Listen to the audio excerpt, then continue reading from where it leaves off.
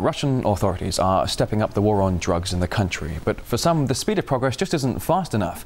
Now, vigilante activists are taking the fight into their own hands, but their actions are falling foul of the law. RT's Maria Finoshina reports. It's said all is fair in love and war, and perhaps even more so in the war on drugs.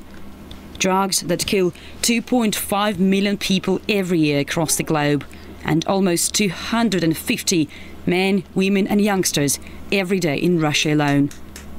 Some are fighting their own controversial battle against the threat. Posing as customers, they arrange to meet alleged drug dealers, and once they are satisfied their suspect is a drug pusher, they serve them a black mark and leave them red faced. People have to know their enemies, what they look like. Moreover, these people will be afraid to go out next time because next time police may be there. These guys are not alone in Russia in their unconventional methods of fighting against drugs. Their colleagues from the drug free city movement have been accused of torturing addicts after they'd used handcuffs to force them to kick their habit. They've also marked drug dealers' houses to shame them in the community. It is our uprising against the drug dealers. Do you think it's